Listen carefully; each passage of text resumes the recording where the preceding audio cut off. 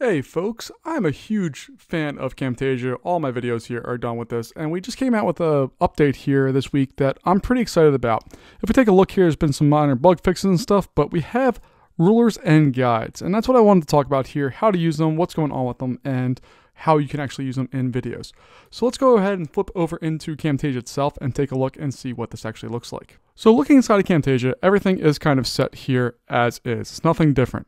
But what we can do now is we can start adding some guides and rulers to our canvas that's going to make this a whole lot better to use in positioning things. Previously, we you'd have something on here, let's uh, go grab some stuff here. Let's grab a static one and let's add oh no, this yellow play head here. We have this yellow play button. Uh, we see on the properties area that we can check the color. Uh, and if we go over into the actual video part, we can control its X, Y, and Z locations and its size, all of that. Uh, but maybe there's a spot where I want to consistently have something and I don't want to spend the time to sit there and actually go through and put in those numbers because it can be time consuming, it can be annoying, especially if it's something you do consistently. Uh, so what we have now is rulers, and this is something the Windows version has had for a few months now. It's finally filtered down to the Mac. Uh, so all we're going to do here is go up to our menu bar, go to View, and inside there you're going to see a new, and it's going to be Enable Canvas Rulers.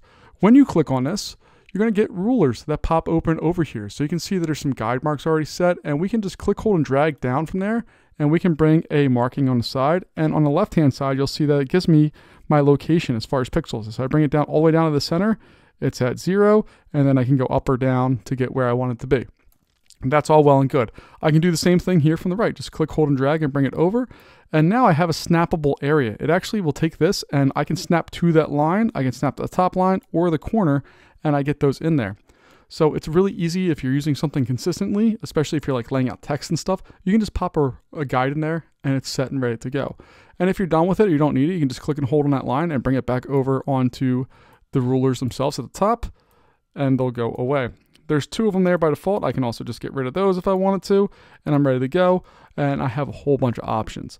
This again is going to make things a lot quicker and easier if you're consistently putting things in a certain spot. And usually I sit there and copy and paste stuff and just make sure things don't move.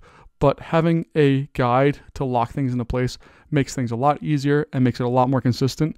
And I'm a big fan of this change. Let me know what you think and what features you want to see in Camtasia 2023. I'll see you later.